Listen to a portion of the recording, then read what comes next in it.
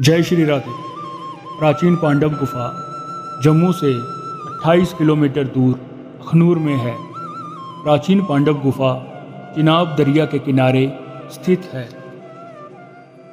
तो आइए चलते हैं गुफा की ओर और, और जानते हैं गुफा के इतिहास के बारे में। पांडवों ने अज्ञातवास के दौरान यहाँ पर एक साल व्यतीत किया था। इस गुफा में भगवान श्री कृष्ण भी पांडवों से बाल रूप में मिलने आते थे। पांडवों ने उसी दौरान गुफा के अंदर एक शिवलिंग की स्थापना की थी। चिनाब नदी को चंद्रभागा के नाम से भी जाना जाता है। कहते हैं, एक बार एक महात्मा जी यहाँ पर तपस्या कर रहे थे। चंद्रभागा की लहरों के शोर से महात्मा जी की तपस्या भंग हो रही थी। फिर महात्मा जी ने ज़ोर से नदी के जल पर चिमटा मारा और खामोश रहने को कहा। और तब से नदी का शोर आज भी इस जगह आकर शांत हो जाता है। गुफा के अंदर आपको पांडवों द्वारा स्थापित किए गए शिवलिंग और एक शिला के भी दर्शन होंगे, जिस पर भगवान श्री कृष्ण के और बछड़ों के पैरों के निशान हैं। और साथ में अन्य देवी देवताओं की मूर्तियाँ भी स्थापित हैं। ये सीढ़ियाँ चढ़ने के बाद मंदिर का प्रवेश द्वार आ जाता है। तो आइए प्राचीन पांडव गुफा के दर्शन करें।